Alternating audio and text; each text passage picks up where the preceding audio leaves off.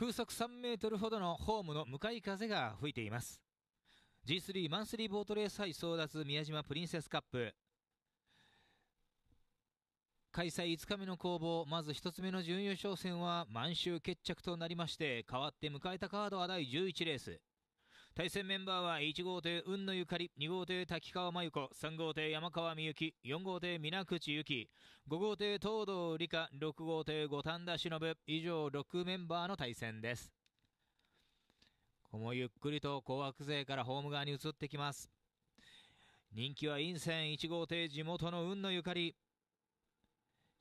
今日前半カードはシリーズ最多の6勝目を挙げています。勢いもあります雲野陰線2コースで2号艇滝川真由子。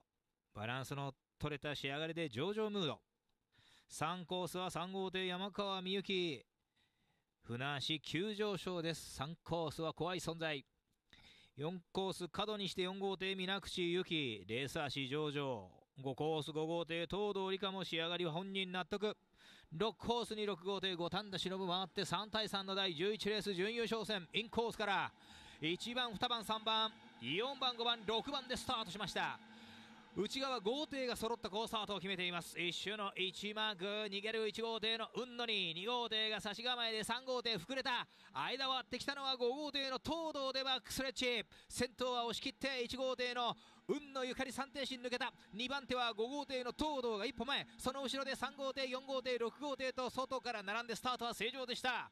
1周2マークトップ旋回が1号艇の運の。2番手6号艇落としてくるが抑えて5号艇東堂が回る。内をついては4号艇3号艇水口山川でホームストレッチ先頭2番手抜けました。1番5番雲野と東堂。3番手は4号艇水口が一歩リード2停止内からは3号艇山川。外から6号艇五反田が追ってくる。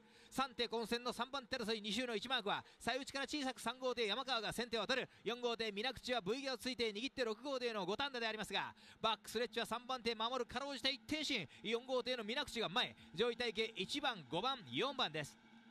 これから2周の2マークトップ2番手は抜けていまして1号艇雲野と5号艇の東堂。3番手後ろから切り返して3号艇ここも山川が先に回る。4号艇水口は内をついてさばいていきますがさあ3番手争いホームストレッチでは並んだ。内から4号艇の水口由紀外で3号艇山川美幸。4号艇3号艇一騎打ちの3番手争いでレースは最終周回に入っています。